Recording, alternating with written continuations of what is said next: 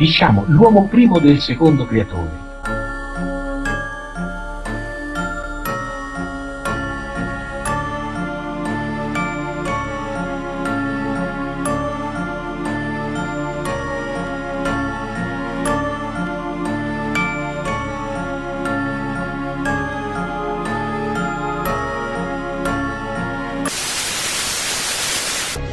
Questo secondo uomo primo, che si trova senza parte animica, ha creato i suoi alieni. Li ha dovuti creare senza corpo, perché di là il corpo non ci può stare, perché non, ci- non c'è, lo- non c'è il tempo. E quindi non c'è questa tridimensionalità che abbiamo qui. Per cui queste macchie nere, che sono il contenuto da una parte di Horus, da un'altra parte del, del, del sei dita, dell'alieno a sei dita, del biondo a sei dita, lui essere di plastica, l'Horus una vera e propria razza, tant'è vero che dentro i sei dita abbiamo chiamato Ringhio e dentro l'Horus abbiamo chiamato Ra, per ricordare un po' le antiche divinità egiziane, alle quali il contenitore assomiglia, abbiamo dato dei nomi diversi. In realtà, quando si va a cercare di vedere cosa sono queste cose che stanno dentro i contenitori, sia di plastica, sia finti, sia razze insidiosi mutualistica, vediamo solo macchie nere. E tra una macchia nera e l'altra macchia nera noi non siamo in grado di fare differenze. Quante ce ne saranno di macchie nere? Tantissime. E sono tutte la genealogia che ha fatto eh, l'uomo primo del secondo creatore. La mia idea è che il secondo creatore abbia tentato di fare qualcosa come aveva fatto il primo creatore. Eh, ha tentato di costruire un suo uomo primo. A questo livello qualcosa gli è andata male, o la parte animica più fulmine è scappata, o c'è stato un errore.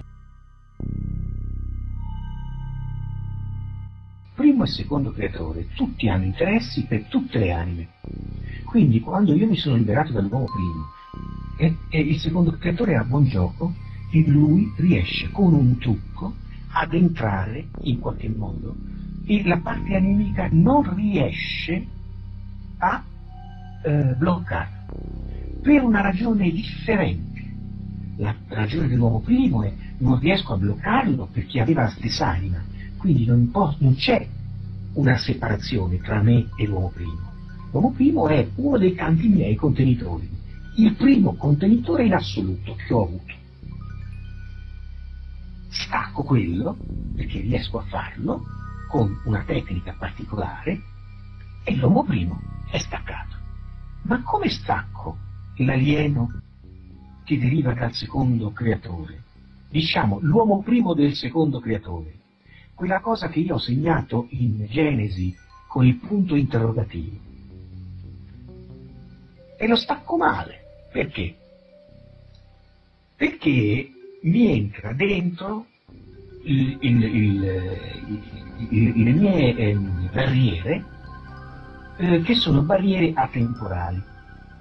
Dovete capire questo. Per esempio, nella Flash Simulation, nella simulazione mentale Flash, quando noi facciamo passare a un certo punto nel primo modulo il soggetto nella sua simulazione mentale dentro lo specchio, al di là dello specchio, lo specchio non solo ha una caratteristica ideica e simbolica, ma è realmente la rappresentazione della separazione tra il di qua e il di là, dove il di là ha una caratteristica fondamentale, è totalmente atemporale. Questo per diversi motivi. Primo, la parte animica a volte te lo dice, di là c'è il tempo, di qua no. Secondo, di là c'è buio. Certo che c'è buio, i fotoni non si possono muovere. E se non si muovono i fotoni, perché non c'è lo spazio e il tempo, soprattutto non c'è il tempo, e c'è buio. Eh, e lo specchio è proprio questo. Lo specchio è una barriera su cui i fotoni rimbalzano e tornano indietro. Non possono, non può la luce e i fotoni andare di là, perché di là non c'è il tempo, quindi la geometria del fotone come particella eh, elementare, la sua eh, geometria non permette ideicamente e quindi realmente di andare di là. Quindi di là, quando si va di là, si passa allo specchio, di là non c'è il tempo. Ebbene, questa struttura permette al secondo creatore e alle creature del secondo creatore soprattutto di poter entrare, perché loro non hanno tempo. Cosa dice Ringhio in una famosa, cioè il parassita eh, senza corpo che abitava, abita dentro alcuni dei nostri addotti, collegato via radio, con, praticamente via radio con i nostri addotti? Dice, da noi il tempo va in tutte le direzioni. Questo ideicamente vuol dire che non va da nessuna parte. Questo vuol dire che il tempo non c'è. Per questo Ringhio in un'altra ipnosi dice da noi non esiste la luce, c'è il buio, perché non ci sono i fotoni, è tutto diverso. Per questo Ringhio appare ideicamente come una macchia bidimensionale nera. E allora il fatto di non avere tempo e il fatto che quello è un luogo senza tempo vuol dire che non presenta nessuna barriera nei confronti del secondo eh, creatore e di tutta la stirpe che viene dal secondo creatore perché di là il tempo non c'è.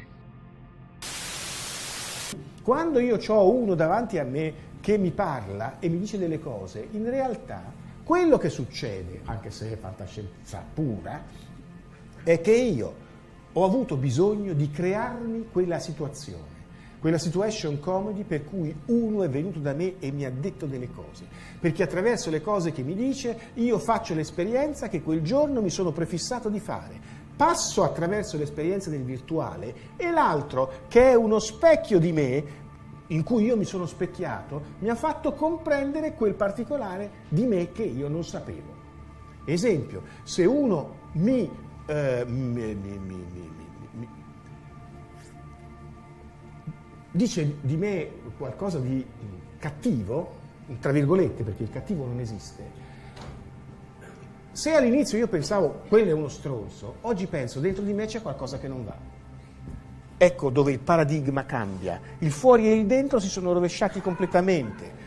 Eh, perché c'è qualcosa di me che non va? Perché io ho comunicato a lui il mio stato di disagio, che lui inconsciamente ha preso e lo rivolta contro di me.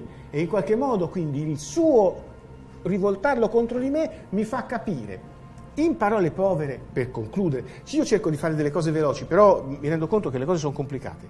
Per concludere, questa cosa qui mi fa capire come si sbagliava all'inizio nel credere che l'alieno fosse un nemico. L'alieno è uno stronzo che ti viene a prendere l'anima. Brutto stronzo. Poi, a metà del mio percorso, l'alieno era un altro, il quale non era né buono né cattivo. Avevamo abbattuto la dualità ma era solo uno che si faceva i cazzi suoi. E ovviamente dal suo punto di vista lui era il buono e noi eravamo i cattivi. Ma dal punto di vista, di vista nostro ovviamente era diverso, quindi l'universo ancora visto in modo duale. Terzo punto, l'alieno è qualcuno che ti sta specchiando, cioè tu hai costruito la realtà virtuale in cui l'alieno viene e ti rompe le palle, perché quel romperti le palle ti serve a te per passare attraverso l'esperienza dell'alieno e per comprendere qualcosa che tu devi comprendere. Cosa? Cazzo, che sei anima, mente e spirito, cioè che sei coscienza, che sei Dio. Senza l'alieno lo capirai fra un miliardo di anni, magari. Invece con l'alieno ci passi nel mezzo, Cristo, lo capisci subito. E analogosly, eh, analogamente, a cosa serve? Cosa servi te all'alieno? Perché l'alieno si specchia in te, ma te ti specchi nell'alieno. L'alieno vede te e vede attraverso di te il suo problema irrisolto. Cioè, tu rappresenti di fronte a lui quello che lui vorrebbe essere e che non sarà mai, a meno che non decida di scegliere un altro percorso coscienziale. Nell'istante in cui tu comprendi che l'alieno ti ha fatto capire chi sei, nello stesso istante lui comprende il tuo punto di vista. Perché siccome non esiste il tempo, i due istanti di comprensione saranno lo stesso problema. Lo ridico in un altro modo. Nell'istante in cui tu comprendi che sei coscienza pura e che tu hai permesso all'alieno di venirti a prendere per farti comprendere questo, lui capisce che deve cambiare sistema che non può venire a prenderti perché non ti, non ti prenderà mai, perché non si ruba l'esperienza coscienziale a un altro, si fa l'esperienza ognuno per se stessi. Quello è il problema. Quindi quando te vinci e l'alieno non viene più, in qualche modo hai aiutato anche l'alieno a comprendere. Questo era il terzo step praticamente, in cui sostanzialmente noi non diciamo altro che ti è toccato l'alieno. Ti è toccato perché l'hai voluto te. Perché lui viene, mi prende sto stronzo? Perché l'hai voluto te. Ecco, il paradigma è cambiato completamente.